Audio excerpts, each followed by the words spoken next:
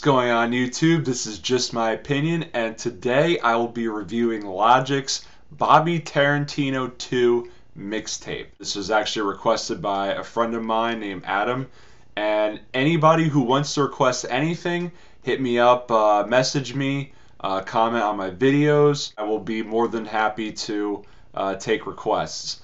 So Logic is a rapper from Maryland, and as the meme goes, is the most popular biracial rapper. I have to admit, I never really delved into Logic's music uh, that much. Heard stuff here and there, but after this project came out and the hype that he came off of within the past year or two, I decided to go back and revisit all of his projects and I must say, I am a fan, but I am a conflicted fan now, and I'll explain why. So, Logic blew up starting in around 2011 with the beginning of his Young Sinatra mixtape series, uh, in which I think progressively got worse and worse with each project, but still showcased a great display of technical ability, great flows, great lyricism, a lot of versatility uh, definitely showed off he was a student of the game based off of his influences, and he had a very unique story that he was telling. But with these three mixtapes, I didn't really know who Logic was as an artist or the direction in which he really wanted to go towards after the end of those three projects. Then he drops his debut album Under Pressure, which I think is probably his best and most cohesive album that he's put out to date he definitely showcased uh, everything that he was showcasing on the mixtapes, developing more of his own sound and style, and also uh, telling more of his unique story. Follow up to that was the incredible True Story.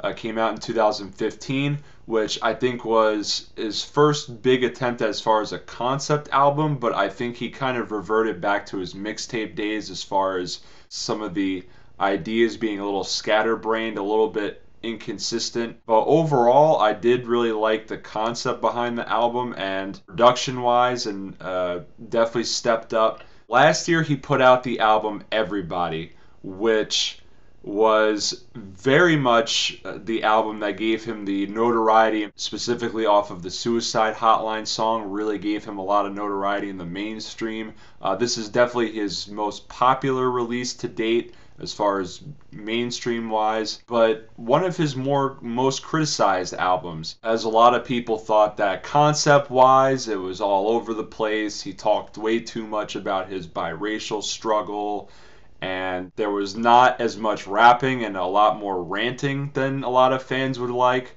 And yeah, I can agree on a lot of those statements, but I think that it was still his most ambitious effort yet, uh, even if it wasn't his best.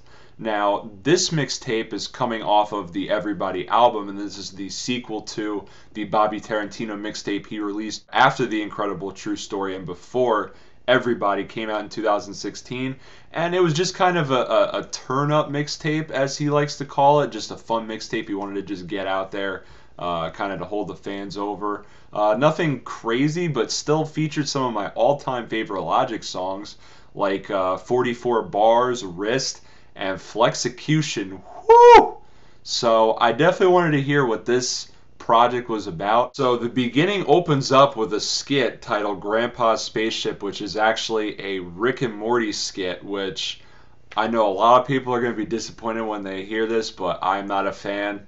Uh, so therefore, I was not a fan of this skit. I know a lot of people love the show. I've seen it only a couple times, and every episode I've seen, I really did not like. Uh, there was one episode I saw where like some guy ripped his skin off. I just thought it was disgusting, and I was just like, this isn't funny. I think he was feeling himself a little bit too much with this skit when the one guy says like, oh, how can you not like Logic? Not everyone likes Logic. But then the album starts off officially with the song Overnight. Uh, was one of the first songs he released in promotion for this mixtape. Not gonna lie, this just did not get me hype. Uh, especially considering that the last mixtape, Bobby Tarantino, this the opening track was Flexecution, and that track just gives me stank face every time I hear it. This just was very underwhelming. Production wise, reminded me of like an early Big Sean, like either from like Finally Famous or Hall of Fame. Uh, if you've seen my review of I Decided by Big Sean, I'm not a huge fan of him, so therefore I was not a huge fan of this. It just sounds very basic, especially coming from Logic, who we all know is a very technically sound rapper. Now, I will admit this song has grown on me since I first heard it but it's still not an amazing track. We then get Contra, which is a little bit more hype of a song, a nice melodic trap beat to it. I was a little underwhelmed by Logic. To me, it just sounded like he was doing his best to imitate the Migos with the flows, uh, the way he was auto tuning. It kind of sounded like Quavo. And the Migos have been everywhere over the past year, and I just don't understand what the hype train is on for them. We then get Boom Trap Protocol, which has a nice, smooth, chill, boom bap style beat to it, which I really liked. And he was spitting for the first minute of the track or so. But then once the chorus kicked in, I was just like, what the hell is going on? The auto tune on this was just was not that good. And I've heard Logic use auto tune before, but never this bad. We then get the song Yuck, which I think is a perfect way to describe the song. It just did not sound that good at all, especially production wise. Was not really feeling it. It was just a weird, wonky trap beat. I did like his flows and I did like some of his lyricism on here, kind of getting at some of his haters. I didn't really like the hook. Uh, I think the most interesting thing about the track was actually the uh, voicemail from Elton John at the end of it. That was probably the most interesting thing about the entire track. Then from here we get Indica Badu, which is a smooth, chill as fuck, jazzy type track. Uh, nice cruising music to it. And this basically was a uh, just a weed smoking song. Uh, I thought Logic did a good job on the hook of the song, and he was flowing on this one too. Loved it. And Wiz Khalifa on this was dope as fuck. I have not heard him sound this good in a long time. You know, he was actually rhyming most of his words, he was rapping fast as hell. Uh, but he was still right in his pocket though over this type of production, this type of sound. Uh, definitely a standout track of mine on the mixtape. Then we get Midnight, which is kind of like a double track almost. It kind of splits off uh, halfway through into this weird, nutty trap beat. Um, but the first half of the track, I really actually liked the production on it. Hook wise, wasn't really feeling too much, especially with the auto tune and everything, but definitely more catchy. Second half of the track, though, I thought he was spitting his ass off, but I just I don't know why. I feel like I've heard this this verse before from him. I feel like this was a recycled verse. Can't pinpoint where it was from, but I feel like I've definitely heard this before. Then we get Warm It Up, and this is the logic that I like. Just him rapping his ass off on this really cold, chilly boom bap beat. Um, reminds me of Young Sinatra logic, and he actually credits himself uh, as Logic featuring Young Sinatra on this track. Yeah, he was just killing it on this one. I like too that how on the hook of the song it kind of switched up into more of a trap heavy type sound and he was kind of simplifying the hook down, but then as soon as it would go back into the verses, it would go back into the boom bap, It transitioned very well. Uh, definitely a standout on the album of mine. We then get Wizard of Oz, which basically was just trying to be Travis Scott all over it, uh, with the flows, with the beat, with the hook. Uh, he was even biting his ad libs. It wasn't terrible, but it wasn't Travis Scott either. So I'd much rather listen to Travis Scott do Travis Scott as opposed to Logic doing Travis Scott. We then get State of Emergency, which of course featured my boy 2 Chainz. Yeah, this song was just alright. Again, a, a, weird trap beat to it. Uh, Logic, I thought, did well on this, but I think he was over flexing a little too much. Talking about how uh, he just signed a $20 million deal to Def Jam, which he also has gone on record now of stating that it's actually $30 million when there's reports out there that it's apparently not even close to 20 million. Uh, I don't know don't know the whole details. It's something uh, about like I got the Grammy this year.